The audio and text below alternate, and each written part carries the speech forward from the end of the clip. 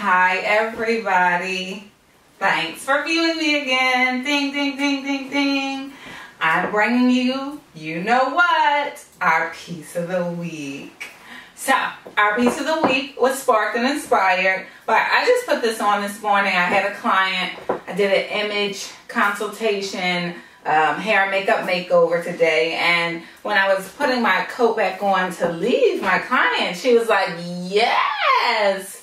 Okay, she didn't say it like that. I'm putting it in my word. But she said she loved this coat.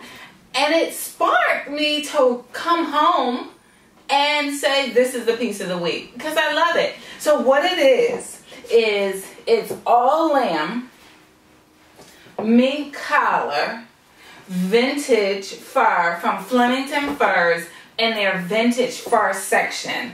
I love a good vintage piece. I love a good used piece. And this one is amazing. It has slits on the side. It has that low kind of dip back. And it's just giving you like jazz, classic, Zsa Zsa Gabor, Zsa Zsa L'Amour.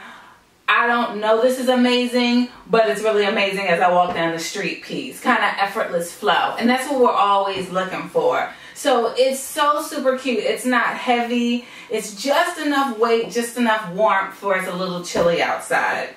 So I paired it with cute little clutch.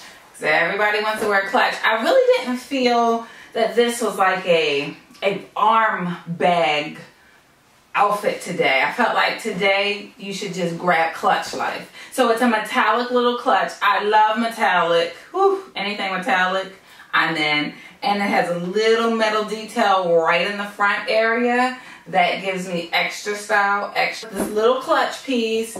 Then, you know, I give all black. Today was giving you, oh, I want to feel black. But whenever I'm giving black, I generally feel in my soul to always bring some entertainment of light color down the bottom on the feet area. So I gave you a little camel tan.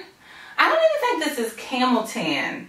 This is more of a taupey tan boot here. Um, very circa early 2000s, these boots. BCBG calf.